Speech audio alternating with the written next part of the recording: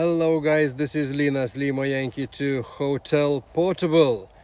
I have a question today for you. What is your favorite portable operation setup? My favorite today is my Elecraft KX2 with the mini PA50 and automatic antenna tuner providing 30 to 40 watts of output into my bike fixed end-fed half wave 80 to 10 meters shorty antenna. And today I'm activating a Hillfort we do it every year when we celebrate our national day on the 6th of July. So stay tuned and see what can we do from my e-bikes mounted station QRZ LY2 Henrikas portabilus iš Piliakalnio Vilnius 128. LY1 Dangolė Kęstutis. LY2 Angelė Tomas. LY2 Henrikas Stasys. LY3 Nijolė Ignės. LY1 Henrikas Danutis. Alright, just a few words about the antenna. It's an end-fed half wave, 80 to 10 meters, short antenna. There's a separate video about this antenna fed by the 49 to 1 transformer from myantennas.com. That's my favorite manufacturer made transformers, and it, the, the, these are really working very, very well. Maybe this transformer is a little bit bulky for the setup and for the power I use today. It's rated for 1 kilowatt intermittent, so it means maybe some 2 300 watts of uh, high heavy duty CW work or, or digital work. Uh, but well, I have what I have. It, it works very nice. It fixed to the handlebars of my e-bike. So and just three meters of cable go into the MFJ RF choke, and then it goes into the power amplifier and transceiver setup the red wire here it's a counterpoise 0.05 wavelength on the lower band which is 80 meters uh, counterpoise. It's 4 meters long. And this guy here lives here.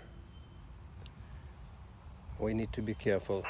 So uh, and the counterpoise i think it's uh, it's really necessary because the common mode uh, current might be quite feasible in such a field installation where everything is very close antenna is close to the radio and everything. So i stick to the theory that uh, coax cable shield which could act as a counterpoise in this case is not a good solution because anyway even if it's not very very high common mode current but still could be pretty nasty even at 30 watts level. The choke helps and the counterpoise helps a lot is basically end-fed half-wave full antenna for 40 meters. Uh, it stretches up to this SOTA beams 6 meter pole and uh, the, it's a middle of the antenna. Why, why do we need a pole in the middle and why do we need the middle point elevated? Because uh, this is not a random wire antenna. This is a dipole antenna by its nature, just fed from the end. What does it mean? It means that the current maximum is still in the middle. So, and it means the higher the middle of the antenna you have, the better radiation effect effectiveness you have. And then we go and we see a famous coil it's a loading coil.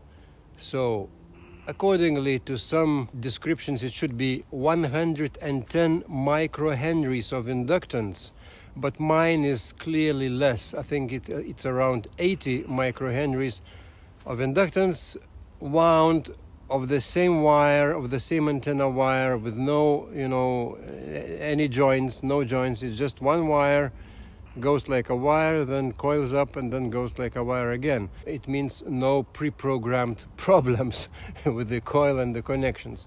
And it goes over there up to the limb tree. That's my favorite antenna. It works very well on 40 up to up to 10, uh, and it works work pretty well on 80 meters. No problems to make local NVIS QSOs with all, all, all the local stations like a few hundred kilometers around me. And it's very versatile in, in the configuration uh, possibility. 20 meter band. Basically no need to tune end-fed half wave is tuned pretty well, pretty nicely.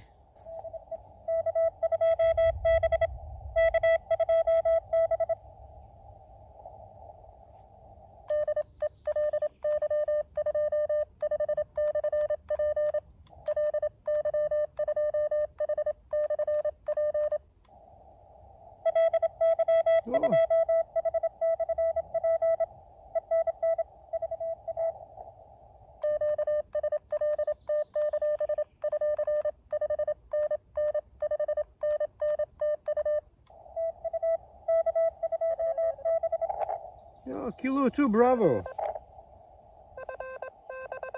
Fantastic. My idea was to have it very portable and modular.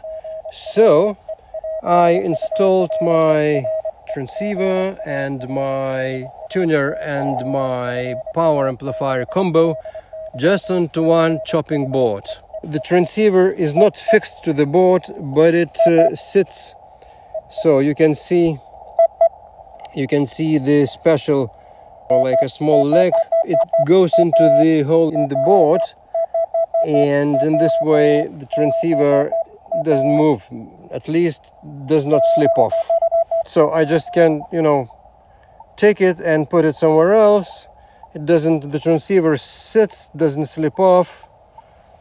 So i put it here and i'll show you what's inside my box. That's my e-bike's trunk and in the trunk I've got you know different accessories you know the box like for transportation and my battery. This is 12 amp hours lithium iron phosphate battery. Homemade battery works very well. There's a separate video. Please check the link in the description. Works very nicely and it provides plenty of power for my 30 to 40 watts power amplifier when I transport, I just put my modular assembly into the card box. I pack the transceiver separately from, uh, of course, because the bike's very bumpy, the road is very bumpy, you know, in the forest, and uh, so just to protect it, I put it into the uh, special pouch, and everything fits into this trunk box. Very convenient easy to use and easy to transport. So, and as I said, the modular design allows for handling easily the uh, the whole setup. Any transceiver of, of the same more or less the same construction could be put into the same place. Uh, no doubts ICOM IC705 would fit here too. No doubts Xiegu X6100 would fit here and of course my favorite QCX Mini or QMX new QRP Labs transceiver QMX new at the moment I, I record this video Lima Yankee 2 still portable. Uh, Roger, Roger. Lima Yankee 2 Hotel Stroke Portable QSL. QSL, you are a 5 by 9 59. Thank you, you. Also 5 by 9 Uh, my name is Michael, Michael, and the city is Karlskrona, southeast corner of Sweden. So back to you. Roger, Roger, Michael. Thank you very much from Karlskrona. Very good report. And I'm running Elecraft KX2 into a mini, a mini PA50, 30 watts output, and the antenna is end-fed half-wave uh, short, short antenna. Uh, so that's that's my uh, setup. How did you copy, Michael? SA7 Mike Hotel Sugar LY2 Hotel Stroke Portable. Over, over. Okay, um, uh, Lima uh, uh, Yankee 2 Hotel Portable Dog. Uh, very good uh, modulation and strong signal. Very good, very good. Uh, just in the moment you are uh, 10 plus 9. Okay, a good position, I think so. Uh, working very well, very well. Lima Yankee 2 Hotel Stroke Portable. This is Sierra Papa 4, Bravo, Lima, Bravo. Good morning, Linas. Uh, odbieram bardzo dobrze. I can copy you very, very well. You're 5 by 9, you're 5 by 9. Piątka, dziewiątka. Uh, operator Benedict. United Radio 5 X-Ray Bravo Hotel. United Radio 5 X-Ray Bravo Hotel 5 by 9 59 very good very strong signal uh, my name is Linas London Indian and Alpha Sierra uh, how did you copy United Radio 5 X-Ray Bravo Hotel LY2 Hotel Stroke Portable over over Uh, good morning, Venus uh, report is 5757. My name what? My name Uh, Roger, Roger, Vlad, uh, thank you very much.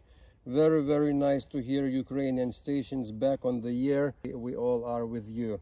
And thank you very much for being on the air. And 73, United Radio 5 X-Ray Bravo Hotel. This is Lima Yankee 2 Hotel Stroke Portable 73. Thank you,